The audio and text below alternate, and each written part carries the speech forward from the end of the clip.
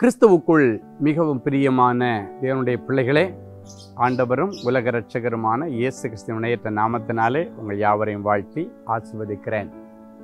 இந்த ஜூன் மாதம் பதினொன்றாம் தேதி காலையிலே நம்பிக்கையோடு புதியின் சத்தத்தோடு எழும்பி உட்கார்ந்துருக்கிற உங்களை இந்த மங்கள வார்த்தை நிகழ்ச்சி மூலமாக சந்திக்கிறதுல எனக்கு ரொம்ப சந்தோஷம்.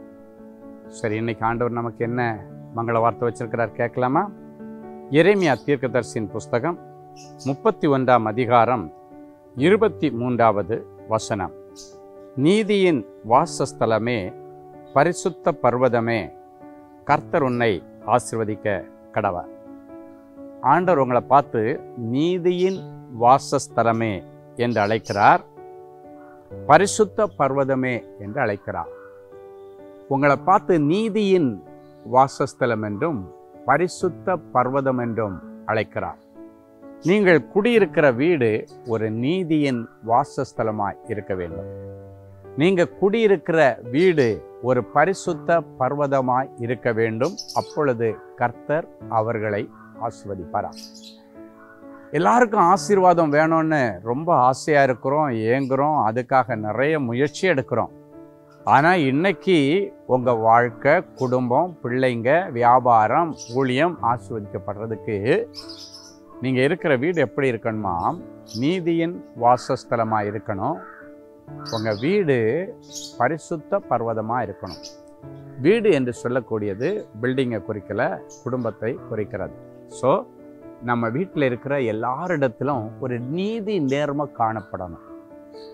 உங்கள் வீடு ஒரு நீதிமானுடைய வீடாக இருக்கணும்.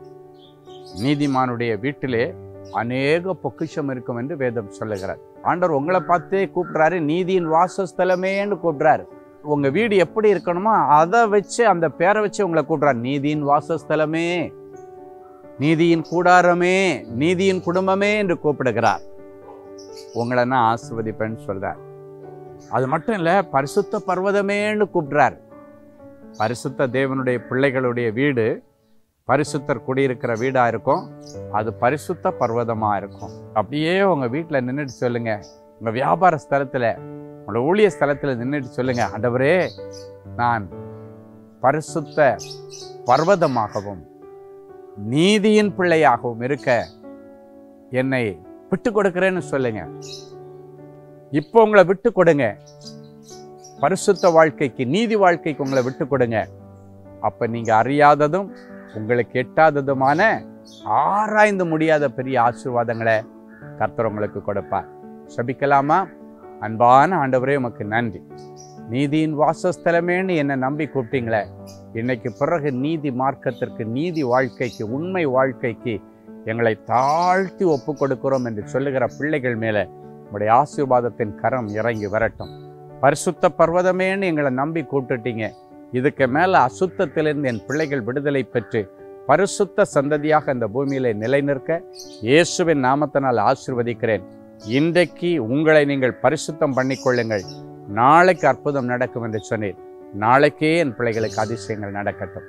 இயேசுவின் மூலம் பிதாவே. ஆம்